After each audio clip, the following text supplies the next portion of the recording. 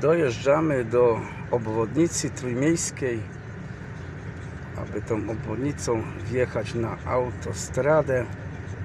Autostradę do na południe Polski. Chcemy dojechać przez Częstochowę, wcześniej Łódź, do Zakopanego.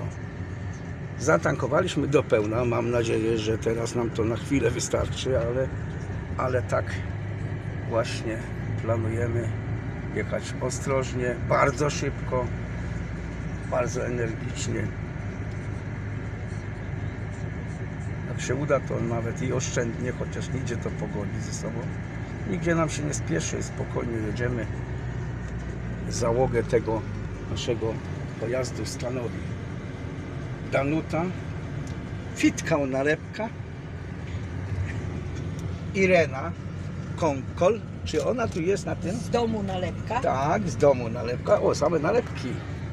I mała, przedstaw się tam, widać Ciebie na tym? Mama, zobacz. Jak się nazywasz? Mama, Amelia widać ją? Klepczyk? Mama, widać ją tam? Zobacz, Danusiu. Mhm. Natalia Trepczyk. Amelia. e, e, przepraszam, Amelia. Nie tam Natalia z moją wnuczką się pomyliło. Ja bardzo przepraszam. Amelia. Amelia Trepczyk.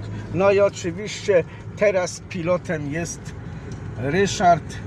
Pomykamy w kierunku właśnie e, obwodnicy trójmiejskiej. Jesteśmy na wysokości chyba e, Gdańska, ulicy Kartuskiej.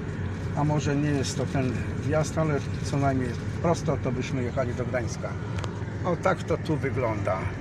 No oczywiście widzieliście Państwo, kto za kierownicą inaczej być nie może. I wątpię, że któraś mnie zamieni. Może Amelia, ale kto wie. No chłopie, jeszcze chwileczkę też będziesz miał swój czas na jazdę po tym pasie. To tyle na razie. Zobaczymy jak dojdziemy do autostrady i tam się połączymy ponownie. Pozdrawiamy tych, co odpoczywają w domach, a tych, co pracują, to szczególnie, bo bez pracy innych ludzi dużo rzeczy mogłoby się nie zdarzyć. Tyle na razie. Pozdrówcie Kazie. Czuczuruczu.